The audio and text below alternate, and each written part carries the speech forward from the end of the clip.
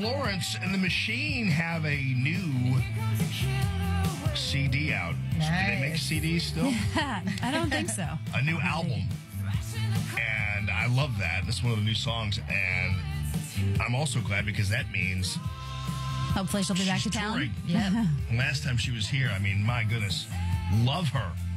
And so happy that she's going to be showing up possibly here in St. Louis.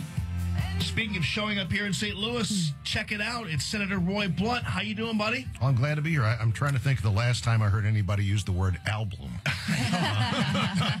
or just the whole world you live in where you want to know they still make CDs Yeah, or right. not. It's uh, it's amazing. I saw something the other day um, where um, they think that like the technology of to just the IT technology will increase by a trillion times in the next decade or so. Oh, wow. And that same thing said that the all the computing power to send the person to the moon is available now on any combination of two Nintendo games. That is amazing. or your smartphone Yeah. has like mm-hmm. all the technology that would have been in the world in you know 30 years ago Right on. in one smartphone Yeah. which is amazing and um, we don't know for sure whether they still make cds or not well, you know what's even weirder, here though? on here on Allman in the morning It sounds like a CD actually sounds much more antiquated than album does for some reason. I don't know why, but just i don't know i thought that- i thought album sounded pretty antiquated when you said it Hey, so it was uh, Old Home Week. Before we start talking about some uh, issues, it was Old Home Week yesterday. I got a story to tell you about Senator Bond. I had the privilege of hosting my brother's son's graduation party. He graduated from WashU. My my brother's from uh, DC, and his in laws, uh, who uh, uh, are are dear friends of Senator Bond's, and they actually stayed at Senator Bond's house. Oh, really? Uh, for, for over, over the weekend, and so um, I had them send a note to Senator Bond uh, eh, to him, and in return, my brother brought back the next day. Senator Bond sent me one of his old 1972 uh, political buttons. you know. Really? He is a great guy, and I have so much respect for him. And the story I was telling my in-laws was uh, when I was a kid, I had a fort, and I built this fort on the side of my house, and I kept the wood together using bumper stickers. So I had so and and actually because my dad was uh, you know Republican and everything else back in the day, that we had all we had the Ashcroft stickers, we had the Bond stickers, we had Danforth stickers, everything else. Right. And I used these stickers to patch together my my fort. I wish I had a picture of it, Oh, but yeah. because I was the sixth kid, there are no actual pictures, Pictures of, of you, yeah, But exactly. but still, um, I wish I had the picture.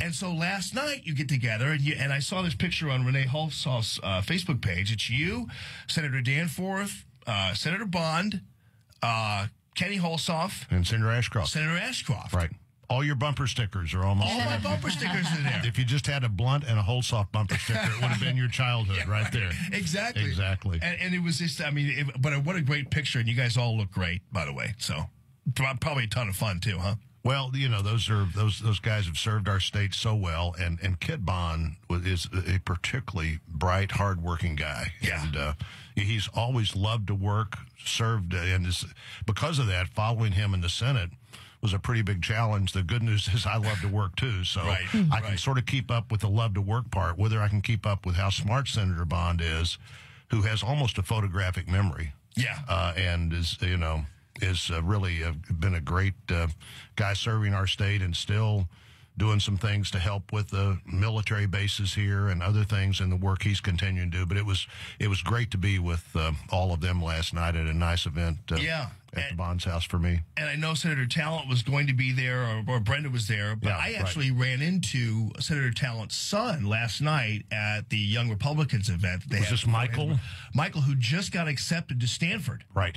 Right. So, I Michael mean- helped me in the uh, Senate campaign uh, five years ago, and he was he, he could do anything. He could do anything. He he would if you said Michael, we need somebody to empty the waste cans. That was fine. If we said Michael, we need somebody to do a video. Right. He was he's a very talented kid. Yeah, yeah, good kid, and, and I guess they figured that out at Stanford. yeah, they, sure, they certainly Right, did. I mean, that's a pretty good. Uh, it's a pretty good uh, uh, place for him. That's for sure. Yeah. So you were in town yesterday uh, to make an announcement. What was that? Well, I was at um, I was at uh, the federally qualified uh, clinic at uh, Affinia, which has changed the name. The Grace Hill Clinics changed their name recently, and talking about uh, what's happening there, we were able in uh, a piece of legislation recently not only to eliminate an annual embarrassment of acting like we were going to pay for something by cutting Medicare doctor payments, which 18 times in 10 years the Congress said, "Hey, we really."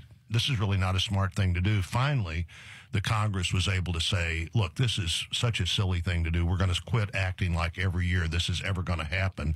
But in doing that, we were also able uh, to keep the uh, federally qualified clinics from going off a cliff that had been created uh, in the president's health care plan uh, that would have uh, reduced their the money available to those federally qualified clinics by almost uh, two billion dollars a year. And and I think Jamie, the clinics provide the medical home for lots of people and are never really factored in to whether people have access to health care or not. Because, you know, the federally qualified clinics, you go there and if you have insurance, they take your insurance. If you have uh, Medicare or Medicaid, they take that. If you don't have anything, you pay on a sliding scale based on how much income you have. And I think everybody pays a little something because, frankly, I think you value something more if you pay for it than if you don't. But you basically, if, if you can't afford to pay anything, you basically don't have to pay anything for that to be uh, your medical home. And like at the uh, one location was at yesterday, about 45,000 people a year last year 45,000 people use that clinic as opposed to the emergency room or something else. So the federally qualified clinics I think are a good thing. Um, the other thing I was able to talk about yesterday is some legislation I got passed uh, last year with Senator Stabenow from Michigan where in eight pilot states and hopefully Missouri will be one of them uh, the federal government will be a payer for mental health, behavioral health, like any other health problem. And we're way behind just realizing as a society that this is a health problem that ought to be treated like a health problem. There's no reason to have one category uh, for uh, a, another kind of health problem. But for mental health, no, we, we can only pay just a little bit to solve that. And frankly, I'm convinced that, uh, you know, most, most people with a mental health challenge, and NIH, the National Institute of Health, says one out of four adult Americans has a diagnosable and almost treatable mental health, uh, behavioral health problem. Uh, and um, almost all of those people, particularly if they have a severe mental health problem, they have other health problems as well. But if you get that mental health problem under control, people start sleeping better, eating better, seeing their doctor, taking their medicine for whatever else they have and before you know it, the physical health problem it's costing so much to pay for is much easier to deal with. So I'm I'm pleased to be part of that discussion of what we do to really treat mental health um, like we should. And one other number I'll give you on that: uh, the National Institute of Health also says that like one out of nine adult Americans has a behavioral health problem that severely impacts their daily life. And so I guess this would affect veterans too, right? Absolutely. Oh, and when we exactly, and when we introduced excellence in mental health, of course, the, the law enforcement community, a huge supporter of that, uh, who in many cases have become sort of the mental health uh, fallback position in the country. The law enforcement, the normal uh, mental health advocates, but the veterans groups, and particularly the young veterans groups, who want to have more choices. They want to be able to stop at a, a, a properly qualified mental health or community health clinic near where they live instead of have to drive three hours to get mental health treatment at a VA facility somewhere. The young veterans groups, generally, uh, several of them made excellence in mental health their top or one of their top legislative priorities as we spent two years trying to get that passed and did. All right. When we come back, I want to ask you also about the uh, trade deal and uh, how Okay. you feel about that. All right. Stick around, right? I can stay for a little while. I'll be glad to talk. All right. Senator Allman in the morning. Common Sense Radio. We'll return in a second. Senator Blunt, if I may compliment your staff. Yep. I'm My, seeing, my staff doesn't mind to be complimented. so I'm seeing a uh, little news release here. Blunt makes more than 1,000 stops visiting with Missourians since joining the Senate. And I just went on a rant earlier this week about this over versus more than thing. And I would like to compliment your staff on being excellent grammarians. Thank you very much. Good. for that. Good. Uh, but the news is, was were you in your Scooby van? Is that how you made all these stops? Now I don't have a Scooby van, but I did make those stops, and you know I, I, I got to every county within the first couple of years, and before I knew it, I'd almost gotten to every county again without even having that as a goal. And I said, well, let's just let's just finish that up as we. Uh, uh, as, as we as we get our work done because it does help. You know, I don't know how many events I've done here in the city of St. Louis. Probably fifty to hundred of those thousand events were right here. But when you get everywhere in the state, you do have a greater sense of what people are doing, and you sit down with people and talk to people about uh, their their hopes and their goals and their concern. A lot of concern right now about federal regulations on uh, what's going to happen to our utility bills, what's going to happen to if the EPA does in fact successfully get control of all the water in the country. Uh, but uh, you know, it's Missouri's a great and interesting state, and being all over it is a is an opportunity that not very many people have, and and I've actually been in every county three times in the last six years because I went to every county during the campaign as well, and now uh, twice for official events uh, in the last four years and a couple of months. How fun was it to be at Redneck Blinds in Lamar, Missouri? You know, awesome. redneck blinds are pretty fun. They, Yeah. uh, here's a guy, you know, again, you just as a Missourian figures out, okay, here's something I can do. Uh, that's there's a market niche here for hunt. They're hunt, hunting blinds, you know, is what redneck Yeah. blinds is, uh, and you know they've got some. They've got some uh, blinds that look like big round bales of hay, and they've got uh, uh, uh, deer stands that um, that are do what deer stands do, and Yeah. you know just it, there are lots of things in our state that are fun to see. Good for you. So now, uh, tell me about this trade deal, the Pacific trade deal. What, what what's your opinion about this, and and how how, how is your support or not? not Well, I'm. I'm I'm inclined to be supportive of trade. Uh, we haven't seen the Pacific trade uh, agreement yet, and frankly, until the president had the TPA authority, the Trade Promotion Authority that we gave the president uh, in the last few days, you're, you're never going to get the best deal until the people on the other side of the table know that this is real. This is not uh, just an exercise they're going through to see how far they'll go, but this is real. Every president since, so the only thing we've done so far is give President Obama Trade Promotion Authority, which means uh, a trade agreement will be voted on yes or no uh, by the Congress of the United States. Every president since Franklin Roosevelt has had TPA, Trade Promotion Authority, until Barack Obama. Uh, and in his first term, he didn't even ask for it. Uh, in the second term, he asked for it, but then it was pretty clear he didn't really want it until after the uh, the off year election. And now, finally, with just a little over a year left, he finally has something that every president's had. Hopefully, also has a desire to break down these barriers to our products. Right. And what I like about trade generally, Jamie, and everybody listening won't agree on this. Uh, but I think the facts bear this out.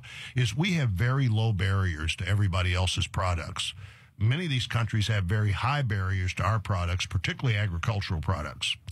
Uh, and um, if you can lower those barriers, we are incredibly competitive. Uh, and you know, as I've said here before, let- let's talk about agriculture for a minute. So, world food needs are going to double between now and 2070 we are standing right in the middle of the biggest piece of contiguous agricultural ground in the world, the Mississippi River Valley. Got the best farmers, the best ranchers, the best ag research institutions, public and private.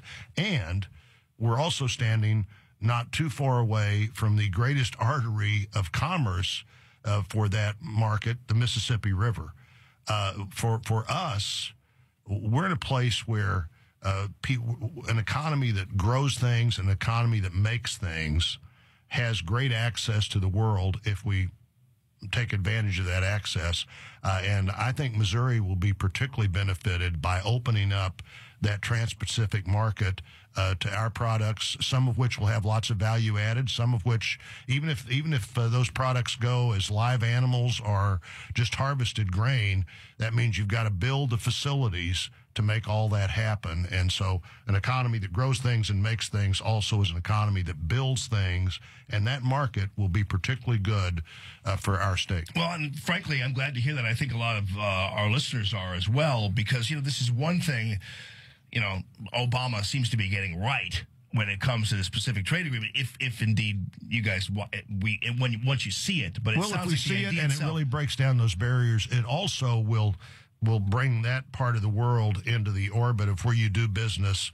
Uh, it, but, but based on the rule of law and e- equity of relationships, and that whole part of the world will develop differently than if we let the Chinese and the Russians, who have a much more cynical, much more colonial view of trade, be the ones that determine the future of that part of the world. So hopefully they'll negotiate a great deal. And if they do, I'll be for it. If they don't, I won't.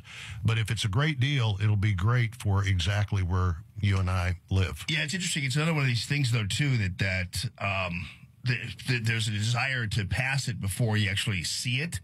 And even though you know we've we've been there, done that before, but but at least uh, it looks like the path seems uh, right. Well, now they finally have the final tool they need to get the best deal from the Japanese and others. And if they don't get it, we shouldn't vote for the deal. But if they do, they now finally have what they need to say, okay, this is now serious.